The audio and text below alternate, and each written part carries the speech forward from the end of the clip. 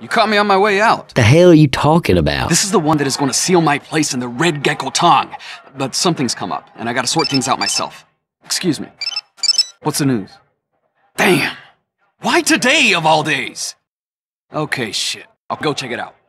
I've gone to check it out. What? If I'd known how many of you sons of bitches there were when we started out, I guess I would have saved the shoe leather and fought you there.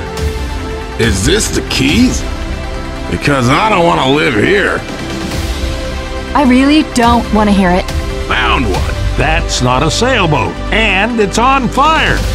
You just got dominated violent for your cupcake. What's the matter, hippie? Hair get in your eyes? You believe this guy? I'm gonna miss then. Good luck, my brother. This is hard enough without you helping the freaks.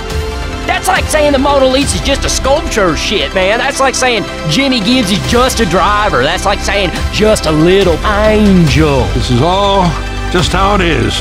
But you never got him, did you? He's your brother. But to me, he's just collateral.